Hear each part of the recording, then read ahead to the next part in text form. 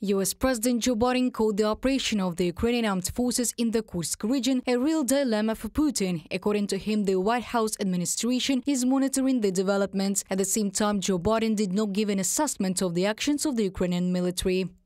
I've spoken with my staff on a regular basis, probably every four or five hours for the last six or eight days.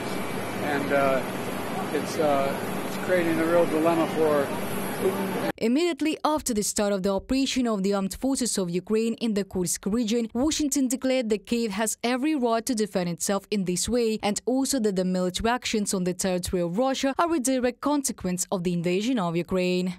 The only people at war in Ukraine are the Russians. They are the ones that invaded Ukraine. And Ukraine is defending itself against that aggression. This is Putin's war against Russia. And if he doesn't like it, if it is making him a little uncomfortable, then there's an easy solution. He can just get the hell out of Ukraine and call it a day. John Kirby, White House National Security Communications Advisor, on the White House website.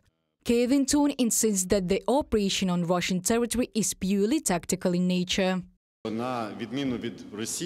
Unlike Russia, Ukraine doesn't need someone else's property. Ukraine is not interested in seizing the territory of the Kursk region, but we want to protect the lives of our people. It should be emphasized that the operation helps the front line, since it doesn't allow Russia to transfer additional units to the Donetsk region and complicates its military logistics. On August the 12th, on the sixth day of the operation of the Ukrainian armed forces in the Kursk region, American senators arrived in Kiev for a visit. Republican Lindsey Graham and Democrat Richard Blumenthal. The politicians expressed absolute support for Ukraine's actions, and Blumenthal called this event historic. Experts note that such a visit emphasizes the bipartisan support of Americans for the actions of the Ukrainian army. Uh, it is a seismic breakthrough.